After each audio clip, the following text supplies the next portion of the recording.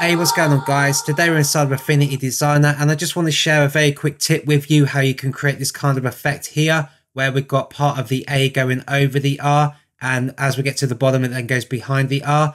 Same as with the T over here, it goes behind and it goes over, then it goes back behind. This is a really easy technique and you can use this with shapes as well as text. So we're just going to get started with this now on a new canvas. So first of all, we're going to come down to artistic text tool and we're just going to write out anything that you want to use. For me, I just write art to make this quick and easy. Just recenter that. And I'm going to grab that move tool and just put this into place for the moment into the center of the screen. And if you just double tap on that and select all of it, you can change your width settings here on your stroke if you want to make it bigger or smaller.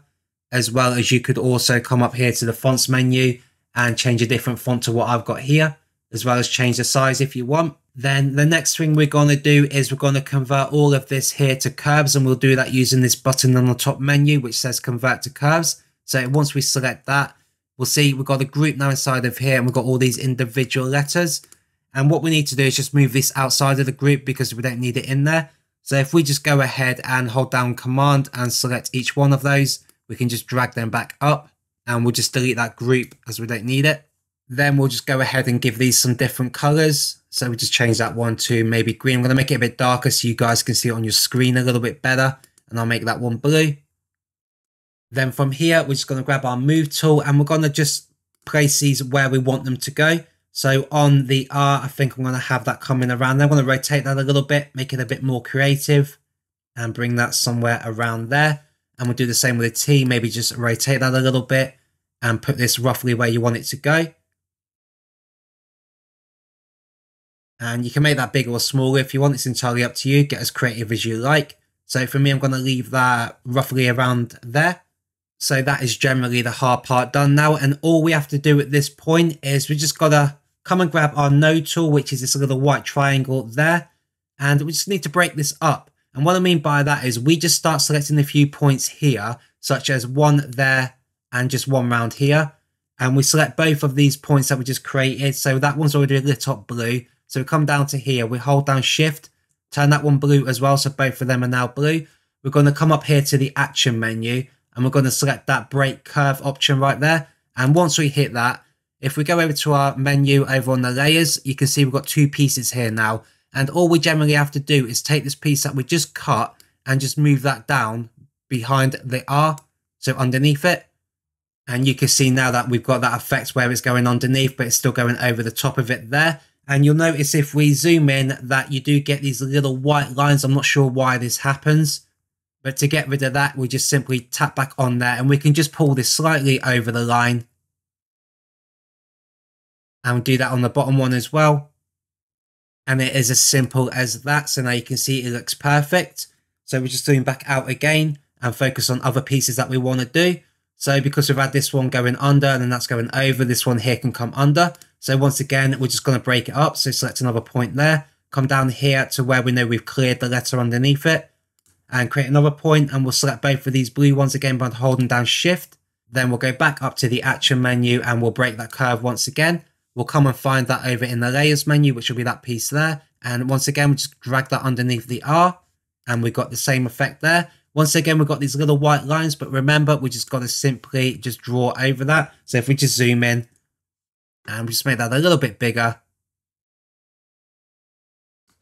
And then down here as well, pull that over. And then that will cover that up for us. And zoom back out again so you can see how it's all coming together now. Then we'll just focus on the A. We don't need to mess around with the R at all because we can just work with these two letters. So if we go on the A and we decide where we want this to break and overlap, we'll keep that one overlapped at the top and this one down here, I think we'll break it. So we'll put a point there and a point here. Select both of those with shift. Back up to your action menu, break that curve. And you'll notice sometimes on this, when you break the curve, it will also bring in that middle section there on some of these letters. That doesn't matter as nothing's actually covering that, so we can get away with just moving that anyway.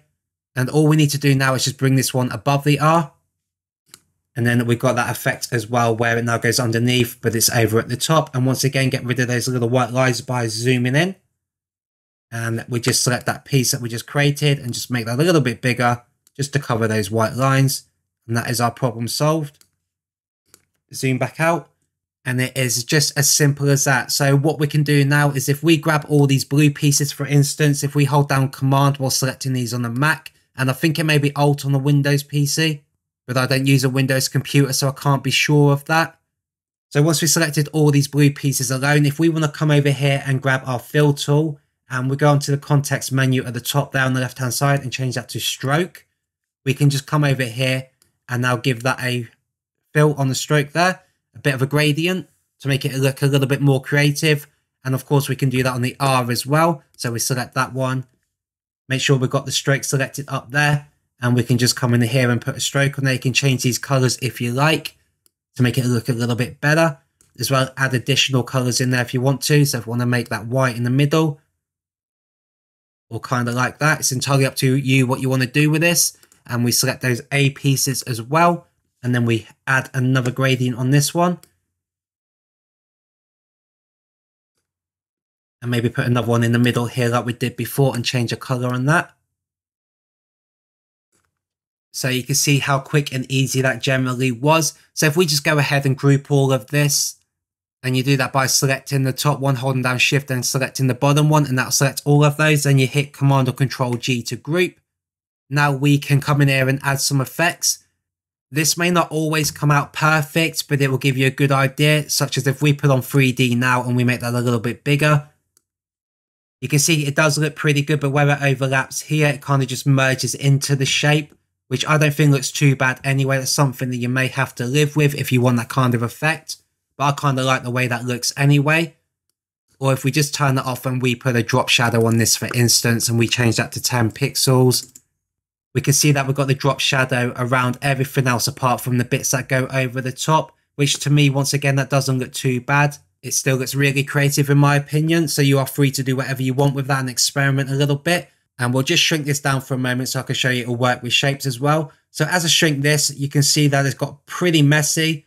And this is something people don't generally take a lot of notice of, but it's important. If I just Command or Control Z to undo that, and we come down to our stroke menu here. We've got this option called scale with object. And if you make sure you've always got that checked, you're never going to have that problem. So if I try to resize this now, the stroke will actually adjust with the size that we go down to, as you can see. So it all stays in one big piece without getting all messed up. If we turn that off and we do it again, it's just going to end up breaking like it did before, as you can see. So just always make sure you've got a scale with object turned on. And we're just going to undo that to reapply it for that to work correctly, then you won't have that problem. So I'll just move that over there out the way for the moment and we'll just maybe do something like the Olympic rings or something just to show you can use shapes for this as well. And we'll start by grabbing just a few ellipses. So drag that out, hold down shift to keep that perfect. And we'll make that invisible in the middle by turning off the fill and we'll give this a stroke. Just color that blue and make it as big as you like. So 40 is fine on this one as well. And we can just be quick with this and just command C to copy and command V to paste or control C and control V and just move a few of these out. I'm not going to make it perfect. I'm just going to get a quick example so you can see it.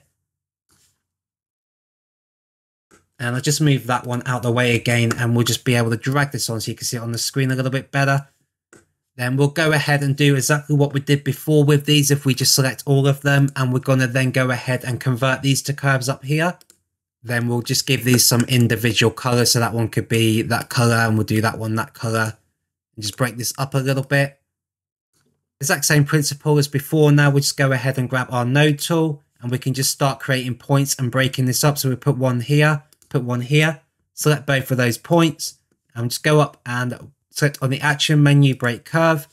Once again, we've got that piece there now. So if we want that to overlap the green, we've just got to bring it above the green. As you can see, and if we zoom in, we may have that white line there. You can't actually see it on that one, so that went pretty well. So once again, it's gone overlapped and it's gone under at the bottom. And we'll do the same over here on the orange one. So we select a point there and the point here will be fine. Select both of those points, break that curve, and then we're just going to move that below the green so it sits underneath.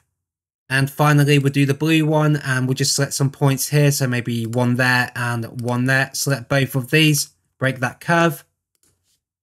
And then we're just going to move that below the orange. And we do the same as before, just group all this together. And you can add your effects on there as well if you want to. Just put a 3D on there, maybe make it a little bit bigger. And remember, scale with object, make sure you got that checked. So when we come to resize that, it's not going to break as we go smaller or bigger. So as you can see, you can get some pretty quick, easy effects with this, which look pretty good.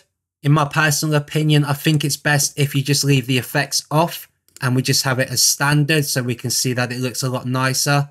And this is a really good effect to maybe use with your logo or something simple, just with a bit of text or a few circles or shapes. So I hope you found this video useful and you've learned something new. If you did, then please give me a thumbs up as it really helps with the YouTube algorithm and helps other people find my content. And of course, if you haven't already, please subscribe and check out all my other content as well as my future releases. If you are new to Affinity Designer, I've just released a crash course on this. It's a pretty long video, but after watching that, you'll be pretty confident on how to use a program. So feel free to go and check that one out. But for now, have a great day and I will see you in the next video.